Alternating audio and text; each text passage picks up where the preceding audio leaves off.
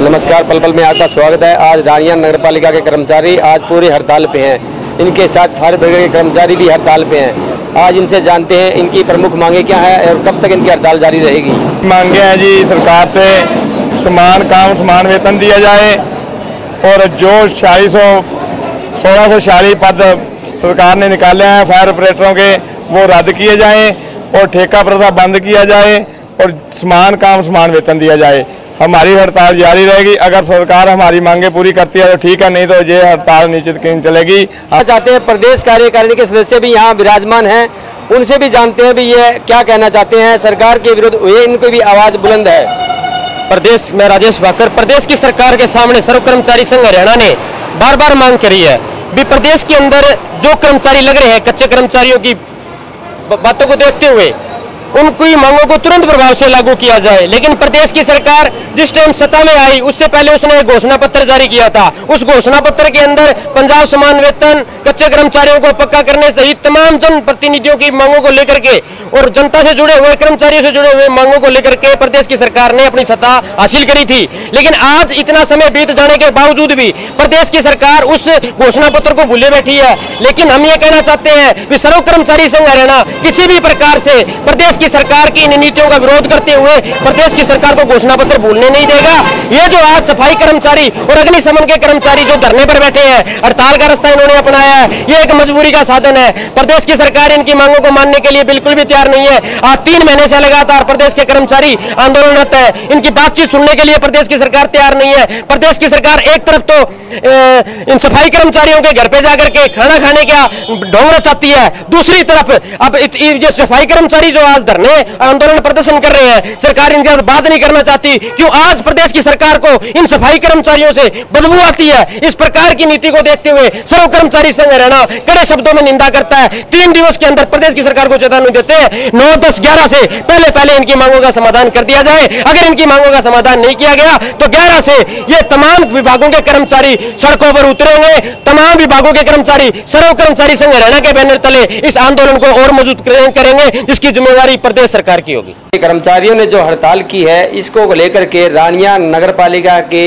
सचिव सोलंकी जी से बात करते हैं। उन्होंने क्या व्यवस्था करनी है और क्या ये व्यवस्था कर पाएँगे? जी जो कि आप कह रहे हैं कि व्यवस्था के बारे में तो इस बारे हमारा पत्राचार सरकार से निदेशालय महोदय से चला हुआ है। तो जो भी जैसे भी आदेश प्राप्त होंगे हम उसके अनुसार कार्रवाई करेंगे। सचिव महोदय जी जैसा कि रानिया के अंदर सफ़ाई व्यवस्था के कारण जो गंदगी फैलेगी या अग्नि की घटना होती है तो उसके बारे में आपका क्या कहना है? देखिए इस बारे में हमारे यहाँ अभी जिलाधीश से बात चल रही है। तो हो ना हो जल्दी ही आज ही या कल तक इसका निपटारा कर दिया जाएगा। इस हड़ताल को देख करके रानिया की सफ़ाई व्यवस्था भी चरमरा चुकी है और अग, अगर इस हड़ताल के बाद में अगर कहीं भी आगजनी की घटना होती है तो इसकी ज़िम्मेदारी कौन संभालेगा? इन कर्मचारियों ने सार्वजनिक रूप से ऐलान कर दिया है कि वे वो किसी भी कार्य पर नहीं जाएँगे और शहर में आज व्यवस्था देखी जाए तो पूरे गलियों में पूरे शहर के अंदर गंदगी का माहौल है। इन कर्मचारियों ने अपना कड़ा रुख अपना लिया है। अब देखना यह है कि सरकार क्या कदम उठाती है और इनको कैसे आश्वासन मिलते हैं और ये इनका अगर आगामी कार्यक्रम को है, इसको अगर नहीं सुनवाई की गई तो इन्होंने अपना ऐलान तीन दिन का फिर से कर दिया गया है।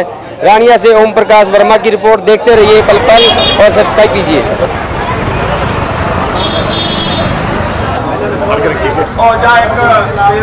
जिंदाबाद जिंदाबाद